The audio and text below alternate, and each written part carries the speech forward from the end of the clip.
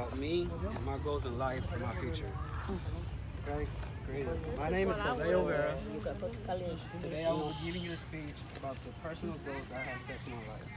I will be explaining and why my certain goals and how to accomplish, accomplish them in the near future. You can achieve your goals in life. You must do all you must do and just believe yourself and never let anyone tell you that's possible. Just remember that when I'm telling you about the speech. I'm a 21 year old student at Northwest Mississippi Community College as part time, and I'm also a part time construction full time construction worker.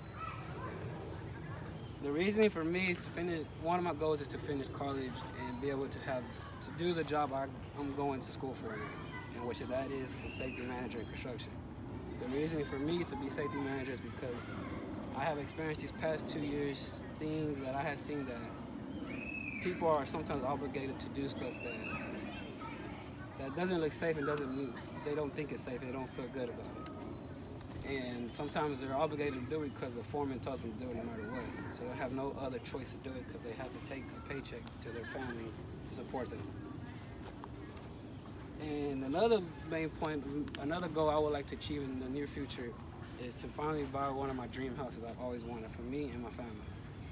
This goal for me is really important because I would like one day for my kid and my family to have everything better, to have a better school, to for my kid to have a better school and to achieve his dreams he's always wanted to and make a better life for him.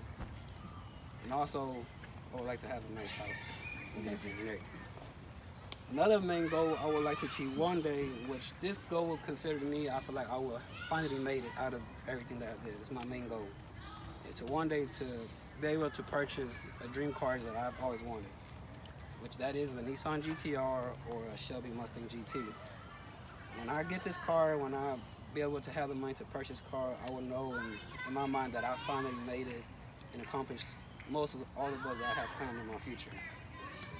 It might just be a car to people, it might just be you know anything. But to me, it's it's like a trophy from winning a basketball game with the team to winning a Super Bowl, anything.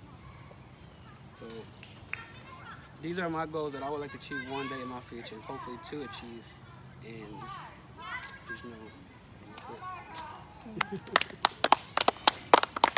Yay.